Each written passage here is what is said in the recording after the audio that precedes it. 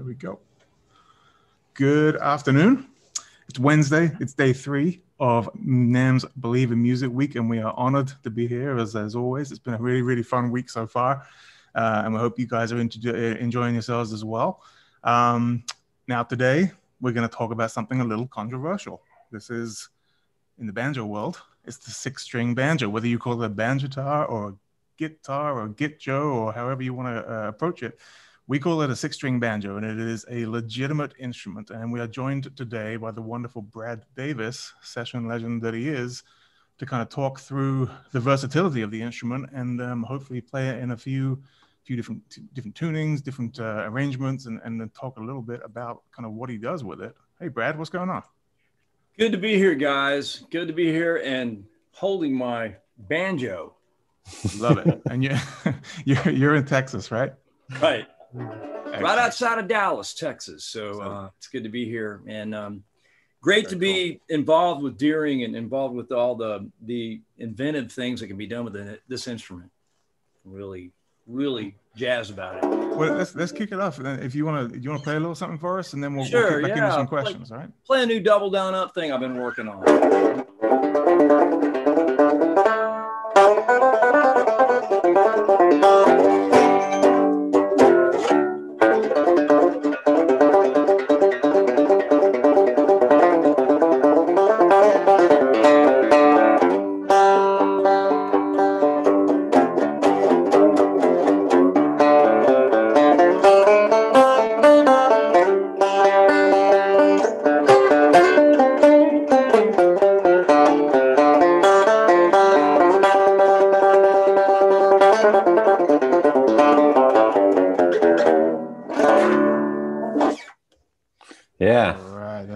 Awesome. That sounds awesome. Now, now David's going to take over the questioning just a little bit.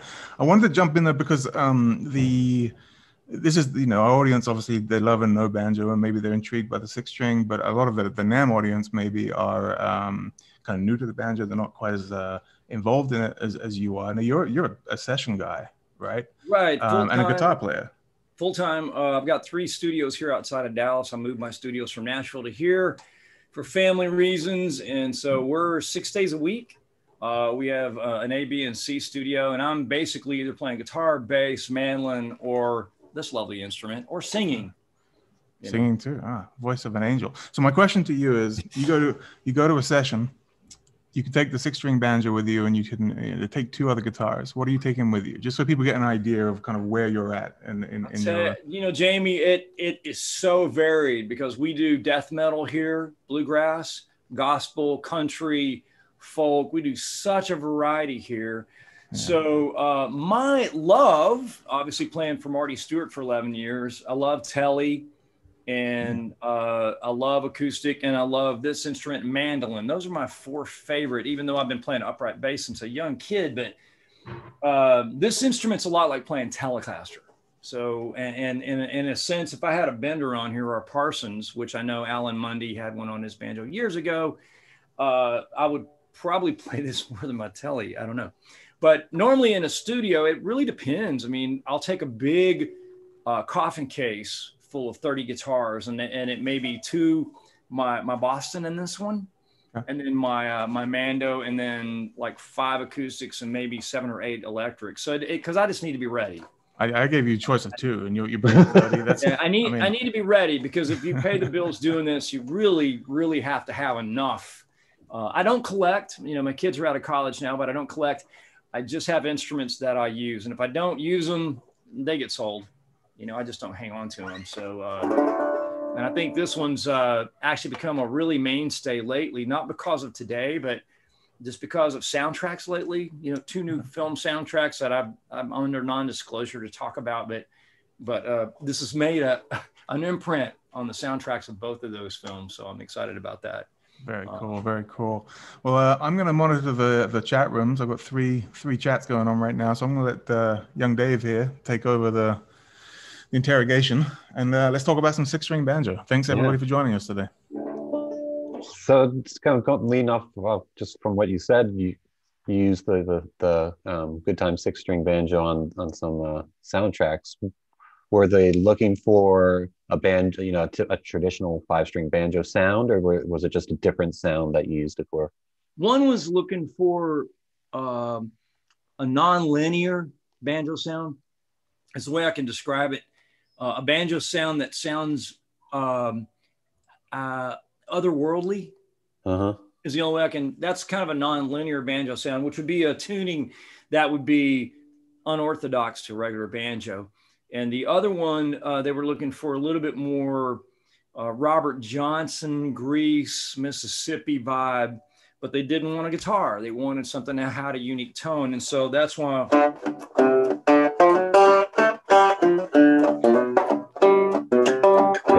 That had a little more grease to it. And then it incorporates the uh, the hybrid picking on the right hand. Uh, and so, yeah, so both of those different films are indie films, but the uh, directors of those films have been well awarded in the past. And I'm excited about it because they're not big budgets, but they've got the potential of doing something great. And it's just great to be part of it. Cool. Yeah, what you said about, you know, using it for a Robert Johnson sort of thing. I've always found that the band, six string banjo, has sort of this some, you know, middle ground sound between a resophonic guitar and, and an acoustic yeah. guitar. So it has that metallic sort of sound in there. Yeah, and it's almost a little industrial raw is what I call it. It's mm-hmm. uh, you know, it, it's almost uh, you know, the steel mills years ago and, and, Oklahoma ran to California to work the cotton fields, and it reminds me of that period in time uh, that Haggard talked about and some of his songs about how they would run to those cities to work, and a lot of those uh, people would bring their instruments. They would bring their guitars and their banjos, and, uh, and, and it would really infiltrate a lot of things in that particular metropolitan area that would be influential for years to come. And uh, I think this this instrument's definitely got the resonator sound, but the head just makes it more pleasing to me. You know. Uh-huh.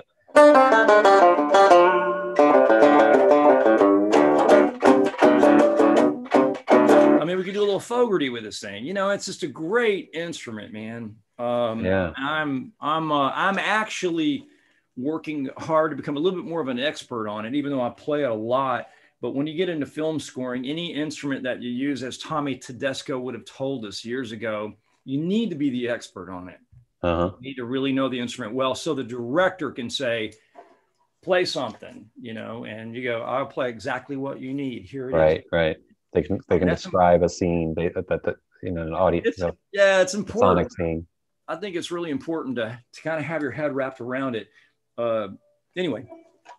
And how, how how long have you been playing banjo? When did you first start getting into it? To this instrument? Just just the, just the six string in, in general. Um, probably 13 years ago when yeah. I got my Boston, and um, my Boston allowed me an opportunity to to continue with the Scruggs roll, forward mm-hmm. and backward roll. And then with the Bela Fleck, the alternating roll that Bela mm-hmm. made so popular. And it allowed me to do that at the same time and then play guitar. I mean, it was like, it was almost like giving me three aces or, you know, and then adding that fourth ace in there and going, no, really, it's, it's a banjo.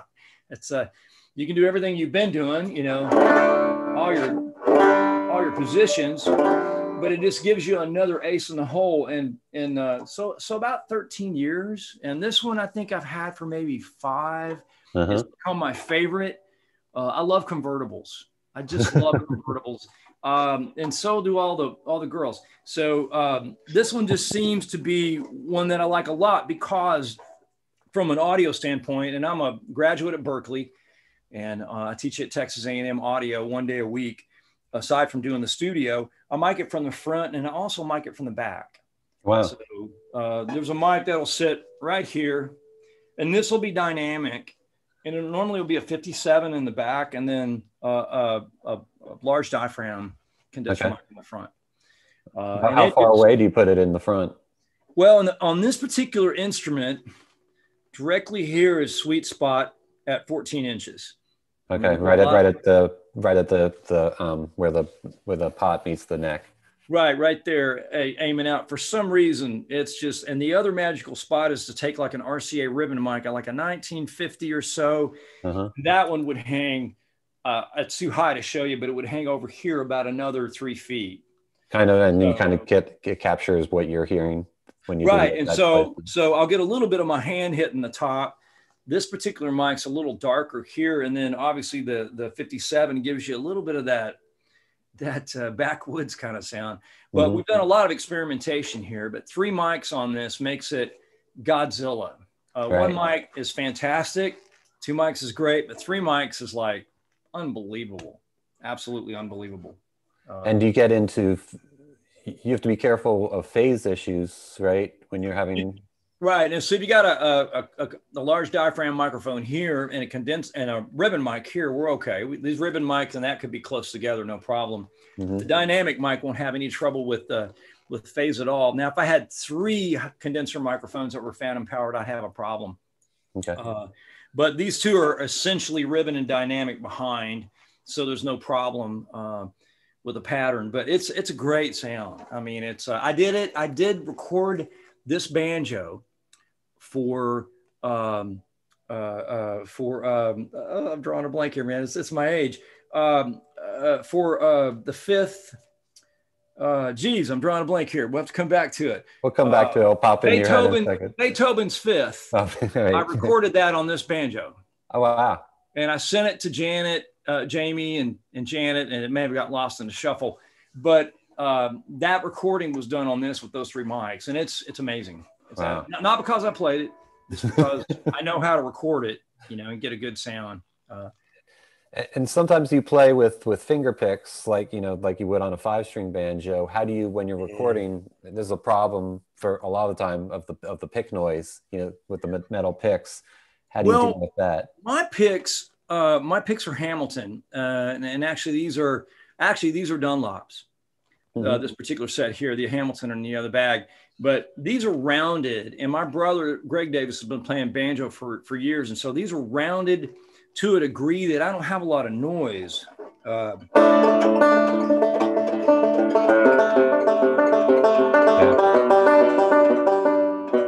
you've still got a little bit of noise, but 14 inches out, Yeah. we lose we lose 12k and we lose 8k that far out.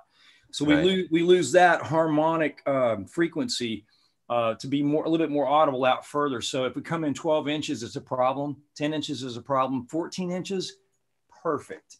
But these rooms that I'm in are tuned. They're well tuned. They're flat, completely flat response, and so it makes a difference. If you're at home and you back the mic off that far, you might hear You're the refrigerator. hearing.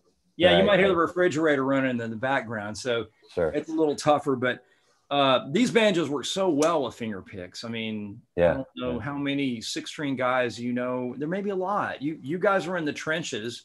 You may think there's a lot. You, you may know of a lot of six string guys that play with finger picks. I don't know. Is that a pretty prevalent or? Most most most are doing tradition, you know, uh, you know, flat pick or or a thumb pick, you know, but not necessarily finger picks. But some We, do. There are definitely. Well, you know, Uh, using the. I'm sorry. Go ahead. No, no, no, no. Go ahead. using the standard Scruggs and then the backward uh, the backward roll works so great on this instrument i mean if i was doing john henry uh, Mhm. using a backward roll right there if i went the, the straight Scruggs roll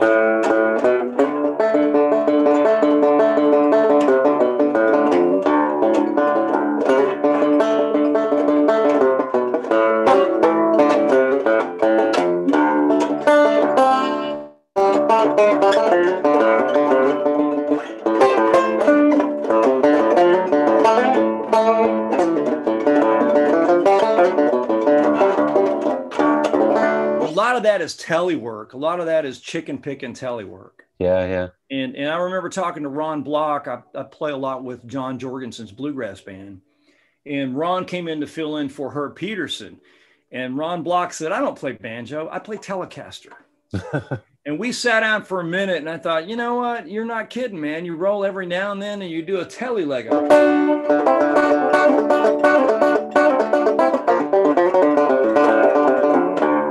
Go, that's great, man. So, you know, and I always felt like that I was offending the bluegrass guys by doing that. Right. But but if you roll every now and then, And the best way to practice is some guys may be thinking, how do I get that down? The best way to do it is a muted left hand. You Uh-huh. have to do it muted left hand, you know, for basics. So to get my chops up on this, I'm kind of taking a rabbit trail here. Sure. So there is a little bit of a transition on this, and I stop me, Dave, if I'm doing some No, shit. it's great. But if I'm doing a, a- a roll, three, two, one, three, two, one, three, two, one, three, two, one, three, two, one, three. So what I'm going to do is I'm going to do a last roll that's going to get me out of that roll. So three, two, one, Yep. three, two, one, three, two, three, one, two, one. So one, two, three. Transition. One, two, three. So it gives you that.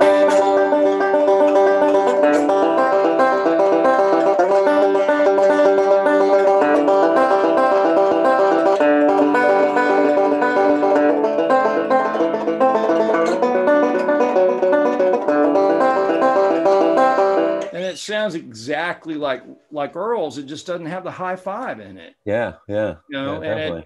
I remember Tim May. You guys, you may be familiar with Tim May, the flat picker. He's a great, great Yeah. guitar player. And we had a group Yeah. called Davis Miller May, and he was like, "What banjo are you using?" I go, "I'm using this one right here." and he said, "Really?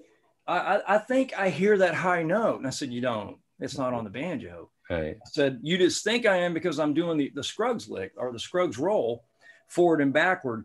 And you know, it's it's really cool to be able to use this and and grab grab a great banjo sound without having to. I mean, I'm still playing banjo. The tuning is slightly different, but it is so much like playing traditional banjo. Uh, It's hard to say it's not because I'm doing all the rolls correctly, you know. Mhm. But if you you cannot get better, well, let's say this: you'll get better a thousand times faster. Because I do clinics all the time on guitar, and I haven't done a lot of clinics on this, but I would I would love to because the same thing applies. Is to use a left-handed muted, you know. So you're you're basically only concentrating on the motor. If the motor's not good, you know, you walk into a club, the drummer sucks. It's a terrible show Yeah. It's an awful show. Bass player's good, guitar player's good, but the drummer's horrible. This is your drummer. This is the drummer. If the drummer's not good, we might as well go to Waffle House and get some coffee and just leave because this has got to be solid. And the only way you can do it, the best way you can do it, and this is tried and true data from uh, independent studies that I've done on music, is 60 beats a minute. It's really slow Right. even though I can play really fast, really slow. Same thing with the double down up. When I'm doing the double down up, everything is super slow. You know, if I want to, I was drop D for a second, guys. So I was in D at that point. But if I'm playing out of open F,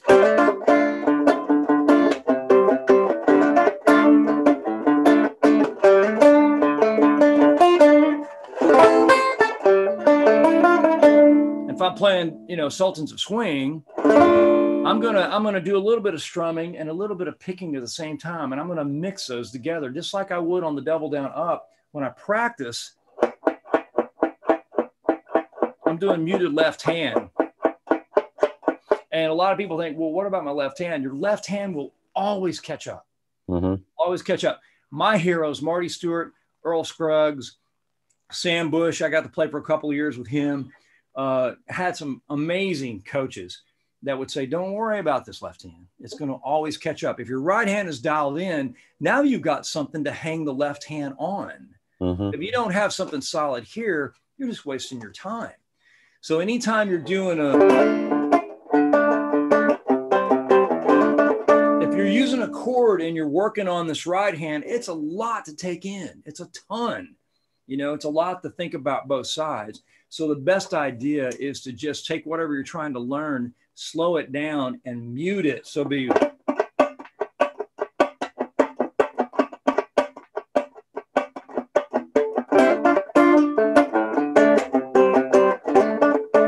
same pattern, but I'm doing it muted. So, I what was can- that pattern that you're doing exactly there? It's um, you get a shiver in the dark and it's raining in the park. But meantime, Right. so it's just the starting of a Sultans of Swing. Yeah, yeah. and, and it's basically a little bit of a it's really it could be a banjo piece But are you uh, picking? Are you with your right hand? Are you picking with your fingers too? i'm picking with my fingers as a hybrid the picks make it a little too brash yeah. so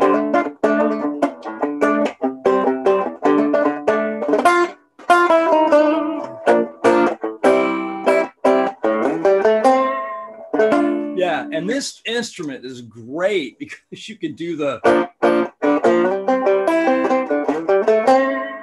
you can you can get a little bit of a little bit of a more character out of it yeah. And, uh, a little bit more character out of it. So it's really cool. But I've worked that up for my solo show, uh, Sultans of Swing, which is one of my favorite songs, man. And um, it's it's it's really a hoot on this instrument. I think it's it's more special. But muting the left hand and and and applying anything, you may have some lick that you're just having a problem with, and so you're gonna you know take the motions of that lick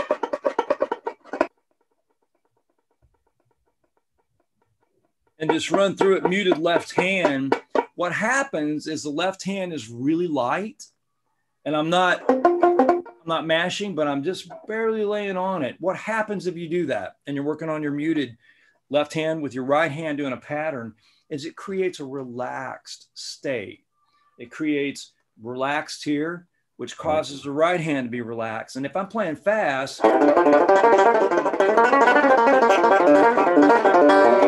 I'm playing really fast, I've got to be super relaxed. uh-huh. I mean, I'm, I'm going to barely, barely hang on to this pick, just Right. barely hold it. So I've got to be super relaxed.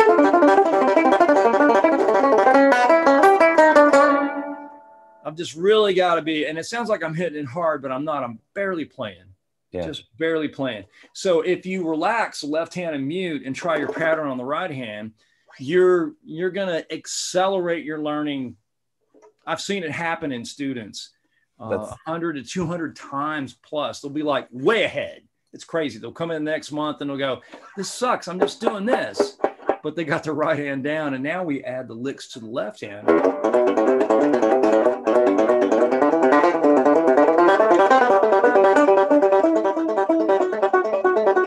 Now we're adding notes to the left hand and and the right hand's dialed in and it's amazing. I mean, the milestone is huge. I've seen it That- too many players. Yeah, that's great advice. I mean, we get, you know, well, the most common questions we have is how do I how do I learn to play fast?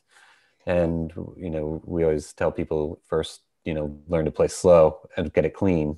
And Yeah. So when I'm working up. on when I'm working on any kind of a lick, like for Dire Straits, the the solo.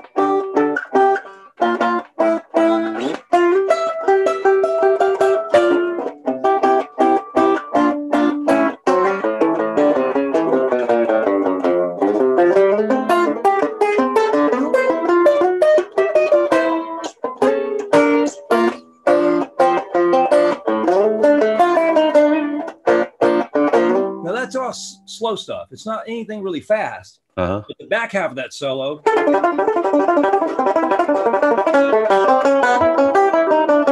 And then another double down up.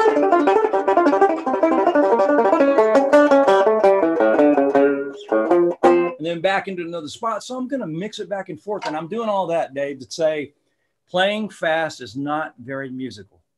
hmm It's just not.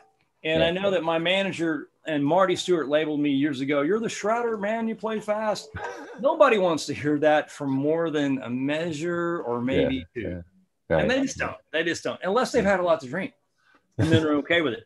But, you know, you want to use those, you want to like play them slow.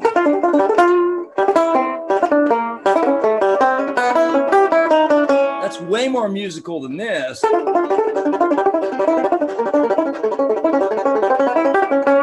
It's way more musical Yeah. than that because it's got a little more character to it. So, as I've gotten uh, this double down up thing technique where I do two downs and one ups, it's great to have it. And if I'm doing a um, maybe a clinic with Bryan Sutton or David Grier, thank God they don't do what I do because those guys are amazing. But I've got my own double down up technique, which allows me to play fast when I need it, but it's not very musical. So I have to use it sparingly, you know, and only use it in certain spots. So, so how does your double down up technique kind of differentiate from other cross picking techniques? Well, you know, if I'm going to play with a pick, the cross picking on this is like perfect. If I'm doing um, get a shiver in the dark and it's raining in the park and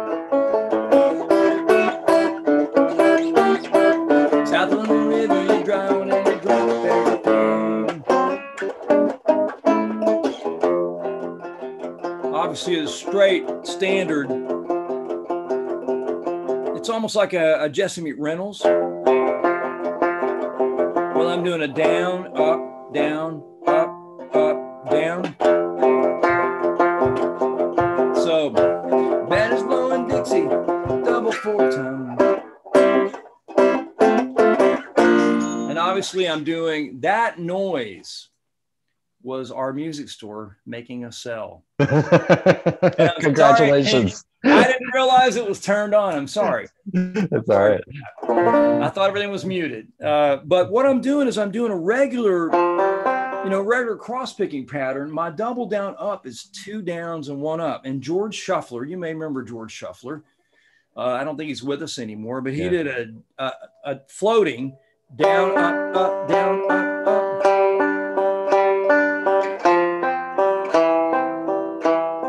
nice pattern. As opposed to down, up, down, up, down, up, down, up. Which I'm I'm tracing my steps. Four, three, two, three, four. Four, three, two, three, four. Or I do the Scruggs where I do four, three, two, four, three, two, four, three, two. So there's a lot of you know variations. You're yeah. familiar with that. But the double down up is two downs, one up. Eddie Van Halen was doing this you know, as a kid, he was tapping, and I had no idea. So I thought he was was doing that. Uh-huh. So I had no licks, and this is the reason I stress the left hand muted. I didn't have any licks, and I remember Joe Carr and Alan Munde as a kid going, "Don't do that. That's weird. That's really strange." so well, I like the way it sounds: down, up, down, up, down, up, down, up, down. So what it's allowed me to do is allow me to create an entire set of licks.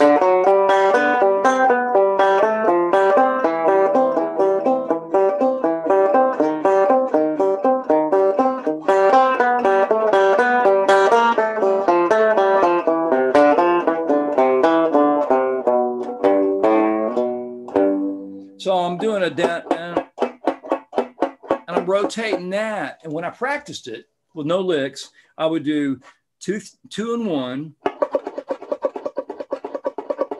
Then I'd go to three and two. You got the idea. Yeah. And the next set of strings all the way up. Well, it would allow me to rotate a pattern.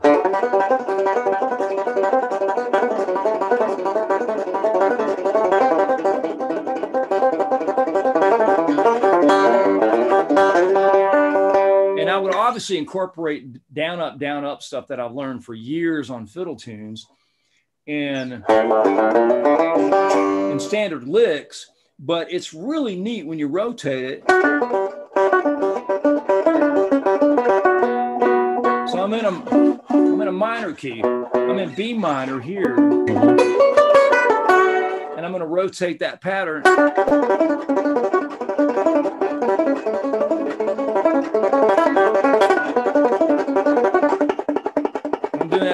Time.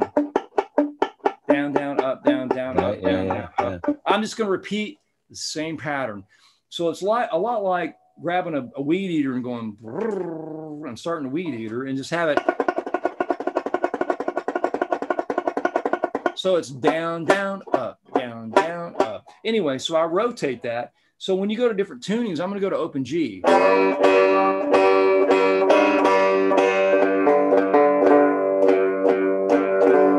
notice how stable this thing is. You can get the G in like two seconds.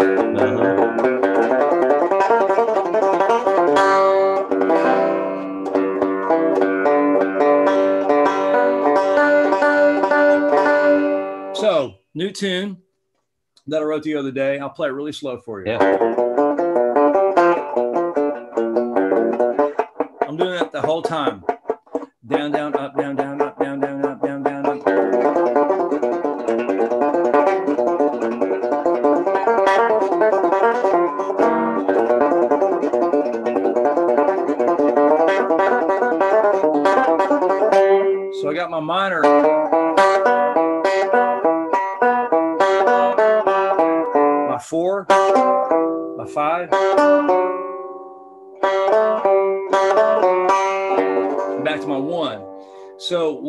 for is I look for different ways to change the key and change the chord change and repeat several times. Sam Bush taught me years ago. I don't know if you're familiar with Sam. Oh yeah, yeah.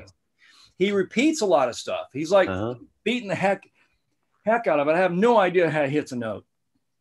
No idea. And and so he's able to repeat things. He said, Brad, we're playing a lot of crazy stuff. So there's no harm in repeating a lick four, five, six times. And I remember playing Telluride and Strawberry Festival, and all the hippies were out there going, Yeah, yeah. After about the fourth, fifth time, they go, Yeah, they get it, you know? Right, right. Yeah. and uh, you know i'm sure they were doing some recreational drugs at the same time but that particular thing of repeating is like this right here check out the changes on this It's going like this down down up down down up and all i'm doing is changing my stylus my right hand and i'm going to a pair of strings and a pair of strings and a pair of strings and i'm switching back and forth keeping the mm-hmm. same technique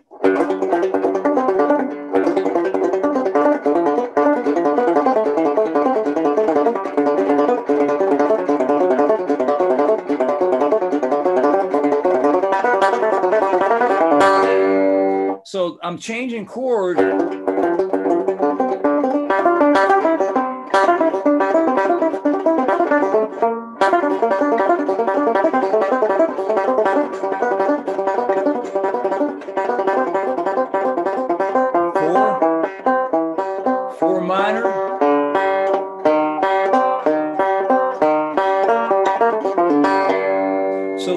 Technique's really hard to learn. It's so easy, it's difficult to learn. And the problem with it is no one wants to mute this and spend time each day doing that. right. So I got a great business model. My wife says you teach a clinic, they come in, they pay, they can't learn it, they come back again. I said it's not my it's not my fault. it's not my fault. I'm showing them exactly how to practice it, but but it's amazing how fast it is. It's incredible, Yeah, and it's yeah, yeah. really very little effort because you're repeating the same technique all the time. So anyway, uh, this open G is really I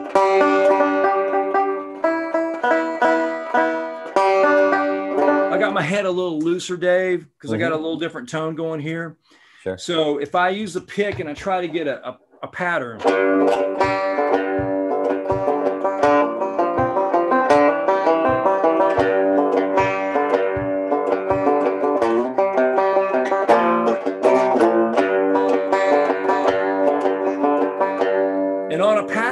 that, I'm normally doing a down, up, down, and then an up, up,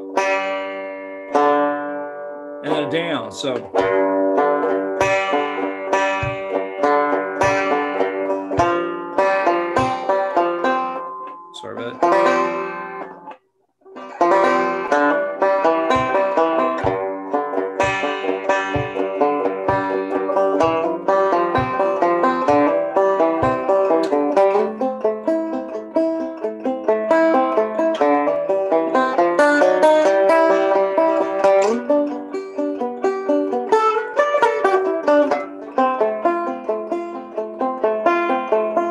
It's a nice way to do it with your pick. Uh-huh. The uh, the banjo picks work really well with this open G tuning. I got hired years ago to do a book for Mel Bay, and it was on Robert Johnson, and I fell in love with this stuff, man. Uh-huh. So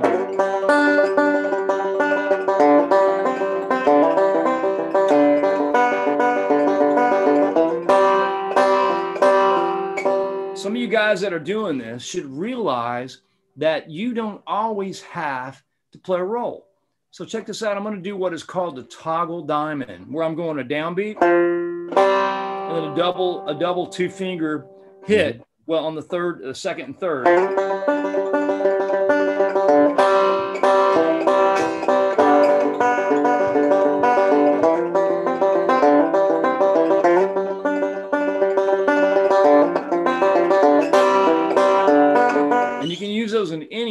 Spots. You know, if you're using a, a, an F chord or a C chord or a G chord, it gives you a little bit of a chance to kind of add some flair and dynamics. And to me, as a player that's been able to make a living at this for a long, long, long time and had some great coaches, dynamics and flavor is is exactly what the coffee's all about. I mean, if it doesn't have dynamics and flavor, why drink it? Right, right. I'm sorry, man. I've been rambling here. No, so. it's great. It's great. Great information. So, uh, so you're playing an open G tuning, and you played an open, and you played in D, drop D before. Are there other, you know, in the standard tuning? Are there other tunings that you kind of go? Well, let's go back to standard. Let's go to just good old standard. We haven't done that.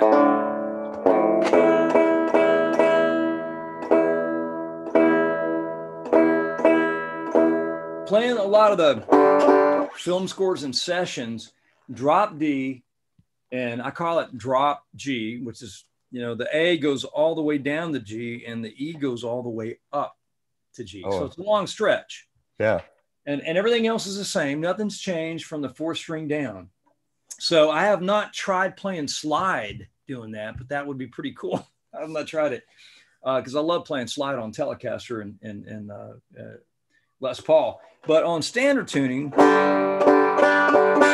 this good old standard tuning, we've got a lot of things we can do using a different bass note for the G. If we use our B note for the G, then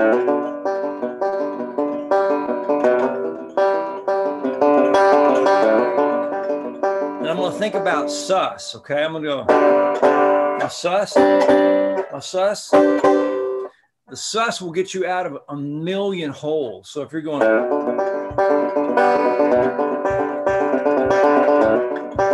and it also gives you your four chord. It gives you Yeah. a four chord right off the bat. One, four, five. It's a little bit of a dissonant.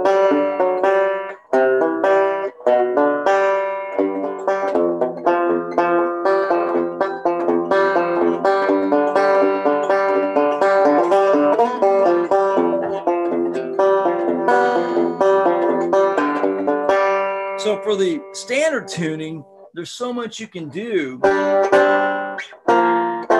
with the sus and the and the two, the added two. And I, I don't think a lot of people realize that. They may just roll the G. They go, "This is great. I'm doing it."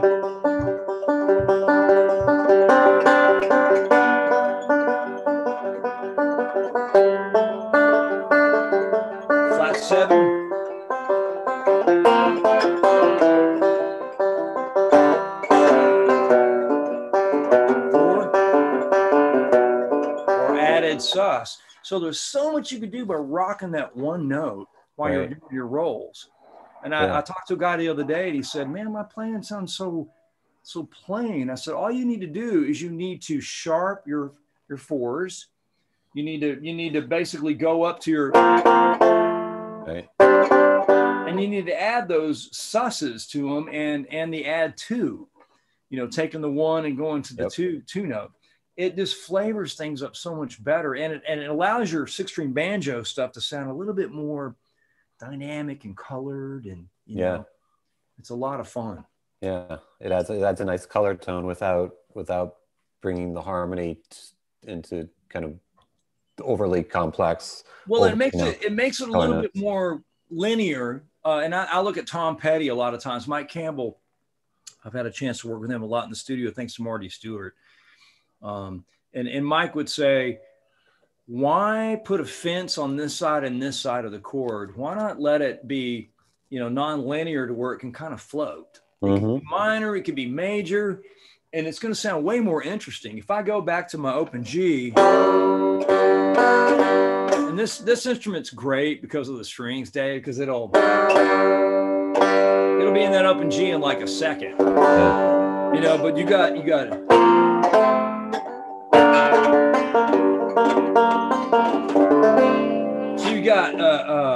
um, uh, you got you got a lot of neat changes when you've got that low low G, you know. Mhm. But you've also got our drone. So that's my high G, basically, right there. Right, Low right. G, right?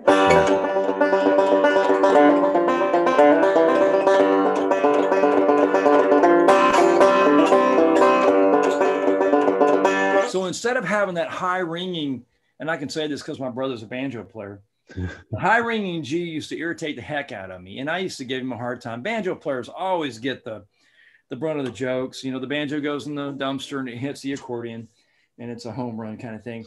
Uh, and- but having a low drone is awesome for a guitar player. It's just like perfect, you know. Yeah. Same thing with that D. If we go back to the uh,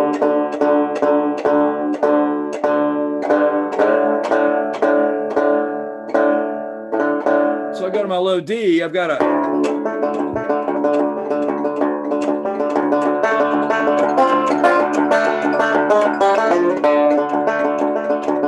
so that is my basically my my G my my five string Mm-hmm. you know, and that gives me that nice row.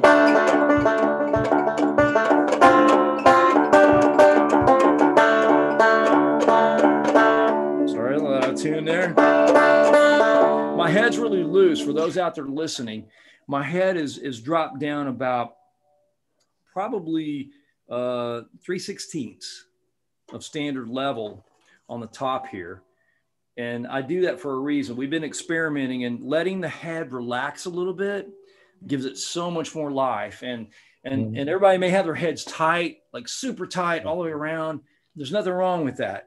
Uh, but using a microphone every day in the studio, I realize, oh, that, I don't know, that doesn't sound quite as good. So we'll loosen the head a little bit and let the let the bridge sink into the head a little bit. And What- so what, what- it does is when you're retuning, it makes it a little tough. Yeah. What pitch is the head tuned at? Because we do it to a to a note. This head is tuned to uh, C sharp, which No, is must be F sharp. Yeah, which is really unusual. Yeah. Yeah. And it it harmonically on a microphone. I don't know. I mean, if I tighten the head up, it would sound. It would just wouldn't sound as as uh, as fat, and it wouldn't Mhm. sound like maple syrup dripping off a hot biscuit.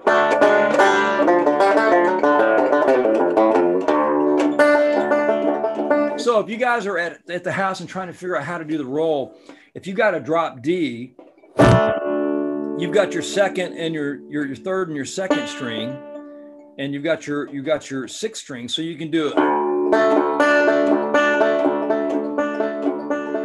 You can keep that low drone going,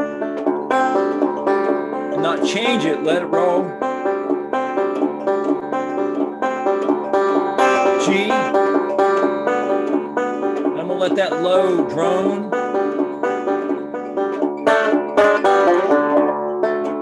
It's nice just to let it drone and let it roll. Don't don't worry about changing the top. Let it be a little bit non-linear, as Mike Campbell would say, and let that kind of roll over the top the changes. It just makes it so colorful. And if it, music's not colorful and doesn't make me fall off the couch, I want to listen to it. You know. Uh, Have you ever I'm- tried stringing the low E string to a high E string? I have actually, uh, and it works really well. It's really cool. I did a couple of recordings for this new sound, this new film score that I was telling you about, Uh-huh. and this was a high E here, and it was cool. It was really cool. It reminded me a little bit of a Nashville tuning, you know, the high, high strung guitar, uh, but I liked it a lot. And um, don't tell any banjo players I said that, but I, I, I like having the low. My, is my preference. But they needed something on the top end for that particular soundtrack. They needed something that would ting, Mhm. ting, and so we we wound this with a with an E string, same uh, same ten that was on here on the top. Uh, it's really funny that you mentioned that because that just happened just the other day. Wow. Uh, I argued about it, and they said we really need something on the top that's going to go kind of like a bell tone. And I said, well, this has got to be a high end string, you know. And You I'm didn't all to- about. I'm sorry. You didn't have an issue with the with this like the nut slot being cut too deep and it and it I did. I did. I had, I had to wrap it. So what I did is I took the string and I took a, um, um, it's a graphite uh, cloth that we've got Yeah. here at the studio. It's really thin. And I cut a small strip the size of the nut and I laid it under the E string and dropped the E string inside of it. So it, it numbed the E string slightly, but it gave it that, that haunting bell tone. Yeah. Now, as a guitar player, I love the low, Dave. I mean, Yeah. I, you know, um, I'm just, I love it. I mean, it's just something I really am called kind of to in my heart. But, but the director wanted something a little high, more ringy. So it's really funny that you mentioned that. Yeah, we just got to finish doing that last week. Um, it was a, I think I put an 11 on here so I could get it a little bit more stable tune wise. Uh-huh. So that's a 10 here. I think you were telling me. And I went to an 11 here just to get it a little bit more beef. Yeah, yeah. But I had to wrap the slot Right. to make it work. And when Uh, when you're playing live, how do you amplify your banjo? Uh, I normally use this amazing pickup. Uh, I'll tell you, this pickup pickup? is absolutely stupid. It's amazing. I've never heard a pickup on on a banjo like it before, and I've been around banjo since I was a kid because my brother plays, Greg Davis.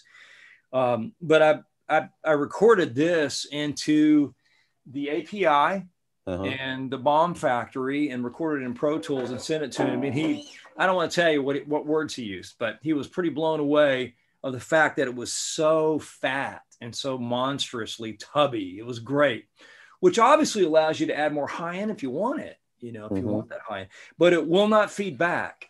I mean, I've used it in multiple loud situations with drums and bass and two guitars and it will it, it just does not feed back so that's that's remarkable i don't know when did you guys come up with this It's made by it's made by John Kavanaugh. It's the Kavanjo pickup, and uh, we started working with him probably about maybe about ten years ago or so. yeah well it is it is solid as a rock and i don't i'm just trying to figure out i guess you had some machine that could drill all the holes at once That's that's part of his his patented process is to is to drill the get the holes in the head without destroying the head.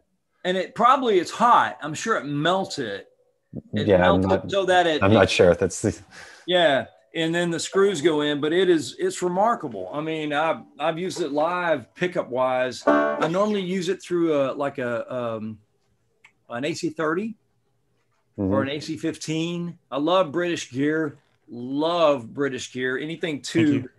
Anything tube, yeah, Jamie. Anything tube is my favorite. You're But welcome. it, it, it is definitely an amazing pickup, man. I mean, I, you, there's it's it's way beyond anything else that's out there right So now. you do prefer using using a tube amp on with the banjo than Yeah. an acoustic amp or something?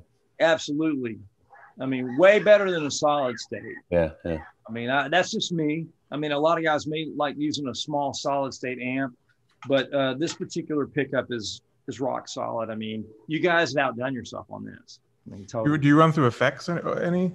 Do you like? Uh, I, I do not. I got I got embarrassed by by Reggie Young, uh, one of the great Nashville guitar players. He was in. A, we were doing a session for the Olympics, and uh, he was playing sitar, and I was playing guitar. And I had a rack, and he had two pedals and a '65 Blackface Twin. nice. And and he looked at me like, "Why are you using all this stuff?" You know. And I was a young kid. I was like, "I thought it sounded good," and he said, "It does not sound good. Get rid of it." So that kind of taught me how to basically just use maybe a delay pedal, Mhm. two delay pedals, a tight one and a long one, and then maybe a tremolo in my in my session pedal board, a tremolo, and uh, maybe an overdrive to have an overdrive, and a wah wah pedal, and that's it. Nothing else. Zero. You know, no other effects with it. And the thing about it, the instrument sounds so good. I hate to run this to anything unless it's a reverb or a delay because the pickup sounds so good by itself. Uh, you're really doing yourself harm by trying to flower it up because it's already set. It's already got a Rolls Royce emblem on the front of it, and it sounds amazing. And and I've done a lot of testing daily in the studio, guys. So if you don't have a studio, you do not have a microscope. I have a microscope. That's So a good way to look at it. Yeah. and and this thing is under a microscope daily and, and it's uh, sometimes we use it in sessions plugged in it depends on if they want something really cool we have a double leslie i have uh, john jorgenson's backline for elton john on loan and hopefully i get to keep it for a long time john if you hear this Do not come get your gear. So I have a double Leslie that he used live with Elton John uh, and several other amps. But this banjo ran through a double Leslie Wow. is like is like heroin. It's incredible. I mean, it's absolutely incredible. You'll never hear anything like it. So uh, I really thank you guys for making such an awesome instrument. It's a big bold statement right there. For anyone who knows what that does feel like. If, if I do you not. guys ever play through a double Leslie, you'll never ever be the same. I guarantee you. I I feel like there's a there's a, de- a dedicated session coming on about Oh, yeah. ban- banjos and double Leslies. Let's, Right. let's have some fun. Yeah, there was a few people commenting on on the on the pickup that they they they noticed on the on the banjos. So I'm glad you brought that up. Um, a couple of other people in the chat asking about um, blues. Can you can you play some blues notes and blues? Yeah. notes and see how that sounds? Some bends going.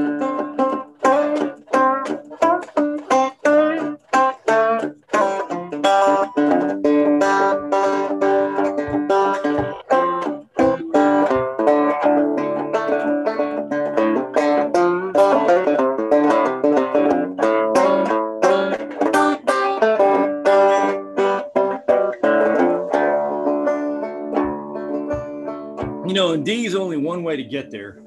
You know, as, as Dave and I were talking about, G's a whole another ball of wax. Um, and we should quickly try it because I've never done it before. This will be a first time. I was just going to ask about slides. We, we've got about nine minutes before we get thrown out of this.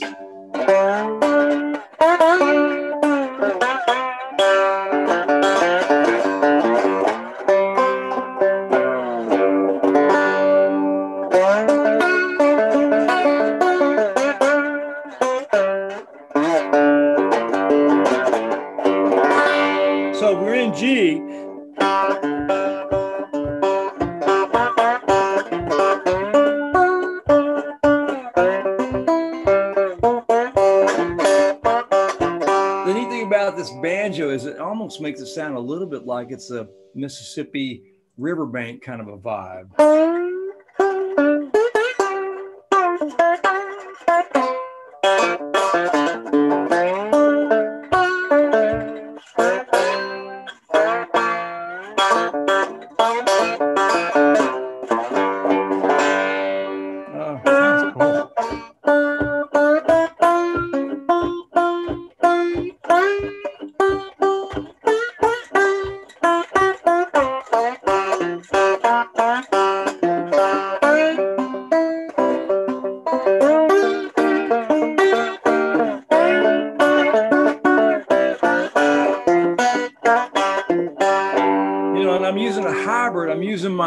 Finger. So I'm keeping that rolling. If I go to D, since we're running out of time, we'll quickly try that. What's neat about this, I got to say real quick, it's really easy to get this to D and G quickly. Yeah, you're, you're Not a lot of demonstrating the tuning really well. I have no tuner in front of me, so there, it's it's really remarkable.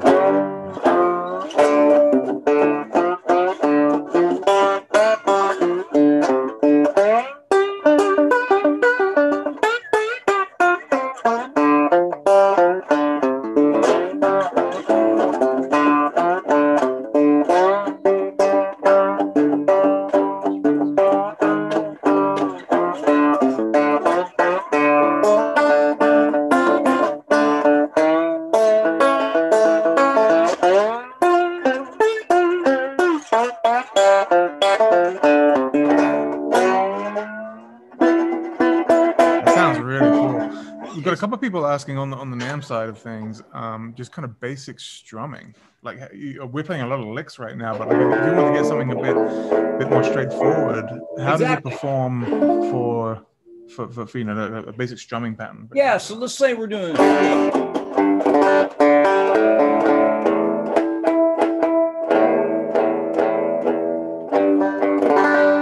Find out when I do this, uh, Jamie, I've got to think a little differently about what I'm doing. If I'm doing,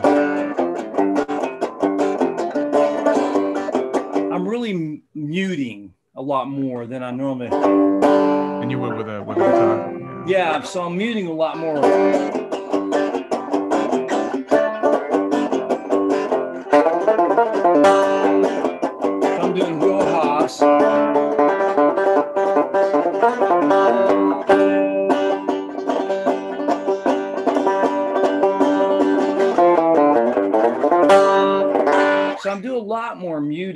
On. And, and I think when I grab this banjo, when I grab a banjo, Mhm. um, then this is probably my main instrument on banjo. The, the Boston I love, but with the pickup on this, it's so much more versatile. And I know I could put a I could put a head on that one, right? yeah, you know, you could do that. and I could yeah. turn that into a Maserati in a couple seconds by putting a head on it. But but on this one, I tend to to mute a lot more when I'm doing chords. And if I'm doing that, you get a shiver in the dark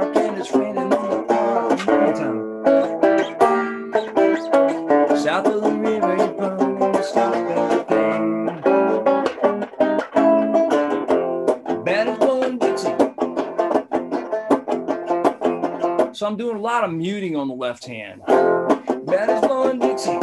Double full time. You feel alright when you hear the music ring.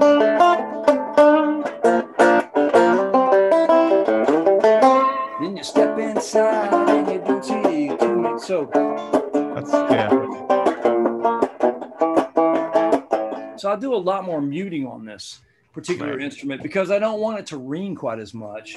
Yeah. and and it's it's i think everybody's different they look for a different tone if i grab this instrument and i grab a guitar and i play my technique my i'm going to play this instrument totally different than i would my guitar because i'm Yeah. looking for a tone and it's going to cause my right hand to go from like what i call zero to 10 and 10 is being the tightest to the loosest it's going to cause me to find that spot quickly.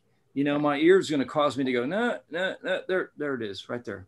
So And- that raises an interesting point as well because I, I hear a lot of people talk about the six string banjo in the context of they play guitar and they they have a six string and it takes them in a different direction creatively like Right. because of the different tone like it just if they're struggling on a piece or, or, or a direction of a song for example a lot of people say this they'll, they'll try playing it on the banjo and it just takes them to a different spot um, do you find the same thing I do it may because between here and here is a tension Yeah. knob, basically.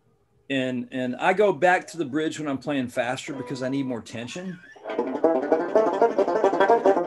I can play a way, way lighter and way more relaxed. Tim May, another guitar player that goes way forward when he's playing, uh, when he's playing fast. Totally weird for me. Everybody's different. Everybody's Yeah. got a you know their own technique. But this is basically a soft and a hard volume knob between here and here. So if I'm doing a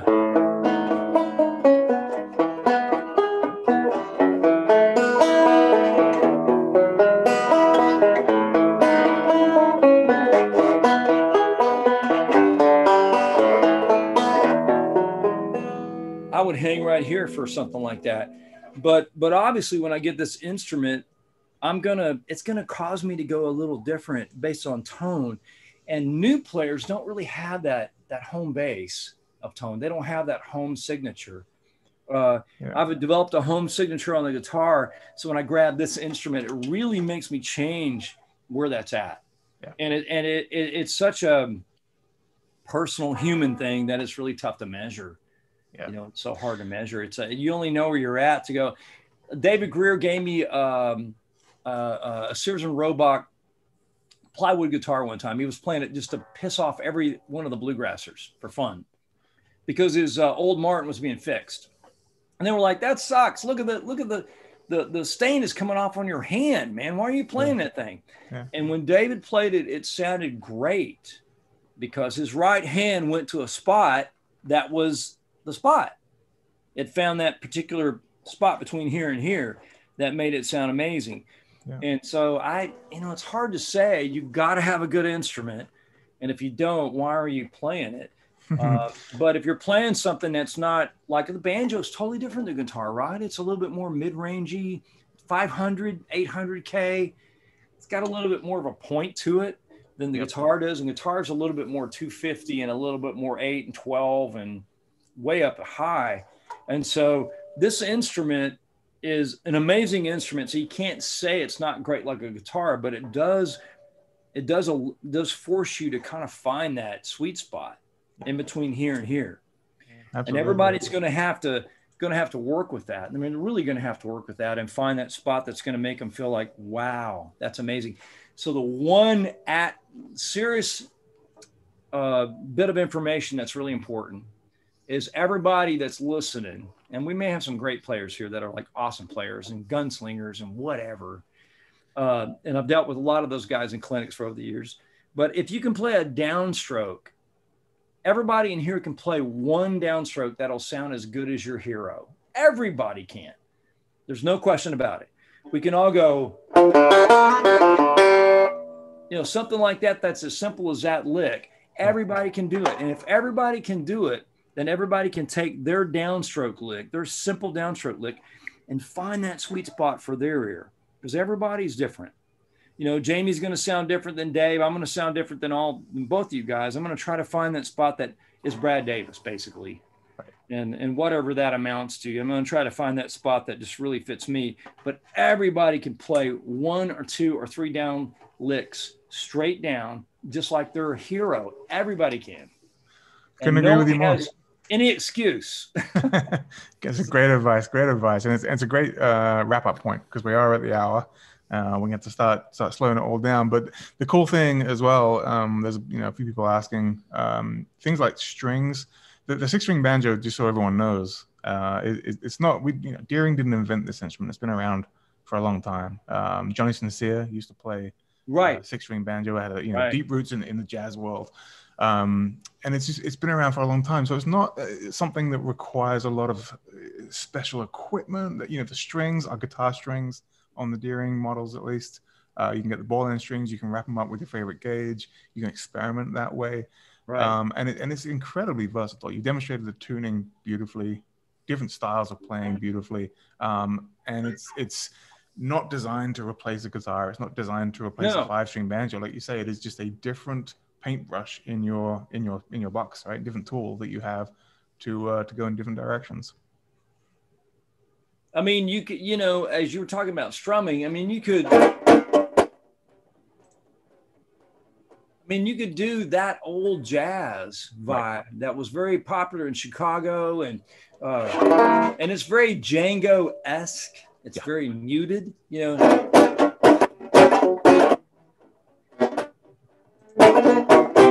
Know so there's a lot of application for that but everything is tight. It's not it's not sustained. Um, and uh, i prefer that on guitar because i'm a guitar player.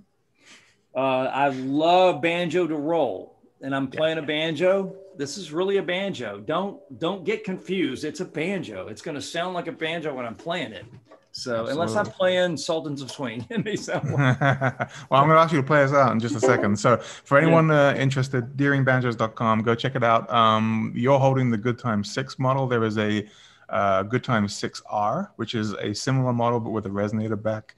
We also have a couple of upper line models, the the Boston, which you have, uh, Brad, as well, which is a steel rimmed uh, upper line, and the Phoenix, which is right. a wonderful. I saw model. that in the ad today.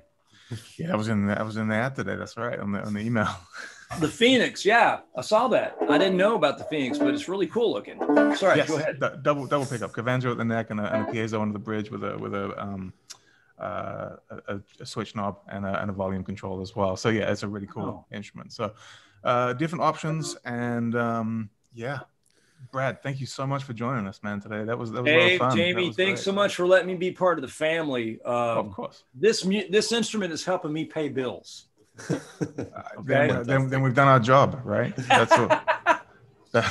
we, we want we want to give you know we want to make tools for, for people like yourself to be able to play and use uh, that you can rely on and that's kind of the point so if we've done that then then we're doing what we're supposed to be doing so thank you for for representing Thanks for having me, guys. It's been a real treat. Right.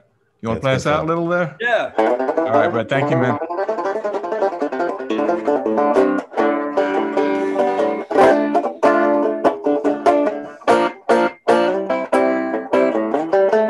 Get a shiver in the dark and it's raining in the park. Meantime,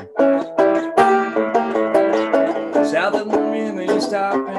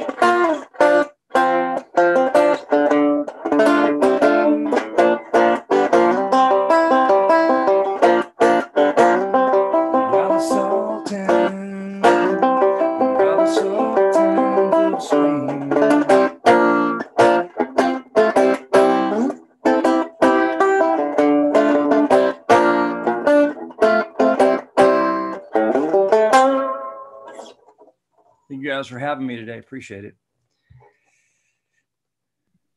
All right. Thanks so much, Brad. That was great.